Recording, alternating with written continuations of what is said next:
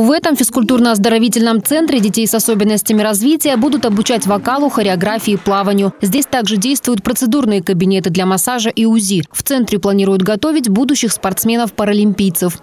Мы очень надеемся, что дети а, с приходом в этот центр обретут здоровье, обретут развитие, будут счастливы и их мамы.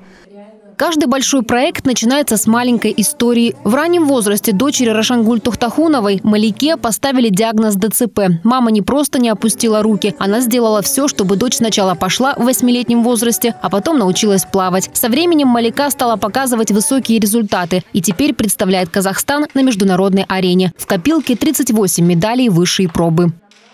Мама смотрела, что дети, они просто так дома сидят, и она хочет, чтобы они так же как и я, встали на ноги, развивались. Что и во-вторых, это не скучно, им как бы интересно быть среди коллектива.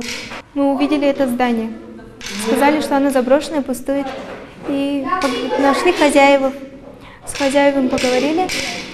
Ну, хозяйка, э, когда она узнала, для чего мы хотим это здание, она аж прям расплакалась тоже и добро дала. Открыть этот центр удалось благодаря неравнодушным людям. Помощь пришла даже из-за рубежа.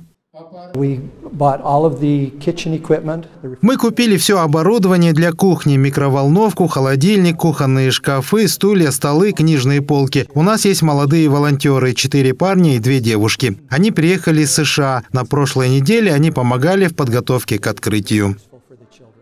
Каждого участника благотворительного проекта можно узнать в лицо. Огромная фотография украшает фойе центра. Благодаря усилиям каждого из них и воплотилась мечта многих детей.